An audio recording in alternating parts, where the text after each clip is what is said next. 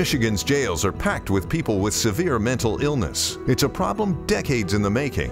The structure of our mental health system is just broken. What's being done to provide care before they end up behind bars? Tuesday at 6.